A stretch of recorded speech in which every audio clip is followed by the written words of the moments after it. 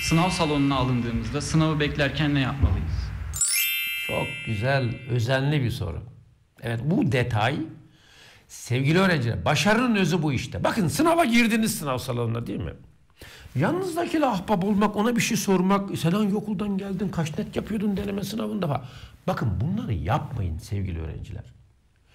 Ve sadece o sınav öncesi, o hep ona ona söylüyorum dikkat o taktiklerinizi, hangi testten başlayacağınızı, e, soruları nasıl işaretleyeceğinizi. Mesela şöyle düşünür müsünüz? Son cümleyi yanlış okuyorsanız yani değildir'i yanlış okuyorsanız hangisidir gibi okuyorsanız. Onun seçeneklerin yanına yatay yazacağınızı bunları hayal edin. Kimseyle konuşmayın sevgili öğrenciler. Sadece sınavı bekleyin.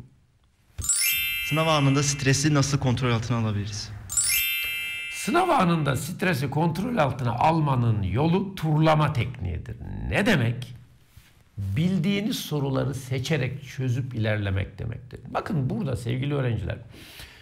Hani böyle demiştik ya hani algımız buyken e, sınav öncesinde algımız daralır demiştik ya. Bu algının anahtarı nedir biliyor musunuz? Doğru soru diye bir anahtar kullanır bu. Doğru ya cevap diye bir anahtar kullanır.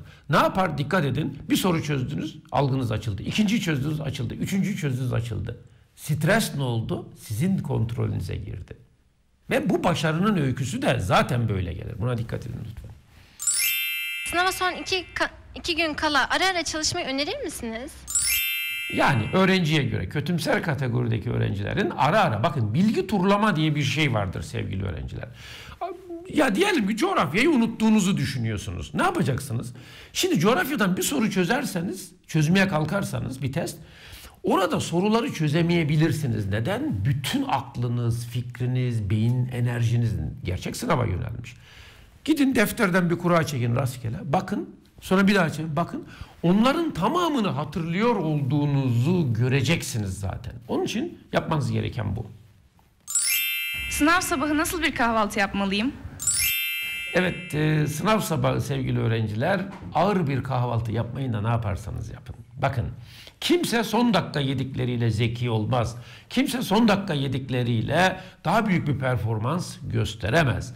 Bakın burada özellikle üzerinde durmak istediğim konu şu. Sabahleyin gerekirse bir kızarmış ekmek. O mide asitini alır. Üzerine bir çorba kaşığı bal ya da tatlandırıcı bir şey yediğiniz zaman o da zihin enerjisi verir ki bunları hekimler söylüyor zaten. Bunun bile size yetebileceğini ifade ediyorlar. Bunu bir dram haline asla getirmeyin sevgili öğrenciler. Sınav anında dikkatimi nasıl verimli kullanabilirim? Evet, e, çok güzel bir soru. Neden? Şimdi sevgili öğrenciler, biz sınavda soruları beynimizin bu bölgesiyle çözüyoruz. Buranın yakıtını tıp kaynaklarından edindiğimiz bilgiye göre karbonhidrat, şeker ve onu enerjiye dönüştüren oksijen. Peki siz soruyu çözerken neredeki enerjiyi tüketiyorsunuz? Buradaki enerjiyi tüketiyorsunuz. O zaman ne yapmanız lazım?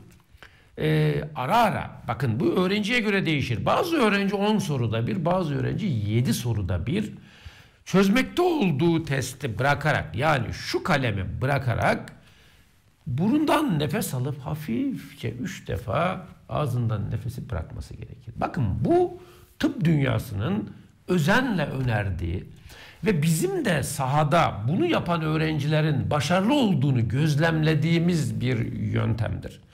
Ayrıca sevgili öğrenciler aralıksız nefes almadan soru çözüyorsunuz.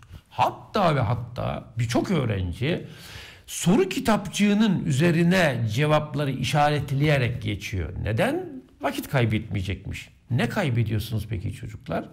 Kaybettiğiniz şey dikkatiniz, beyindeki oksijeniniz, karbonhidratınız, şekerinizdir. Unutmayın bunu sevgili öğrenciler. Bütün başarılar sizin olsun.